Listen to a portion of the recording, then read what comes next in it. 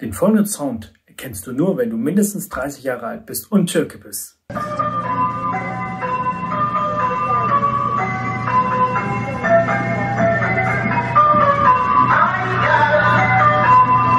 Kennst du ihn noch?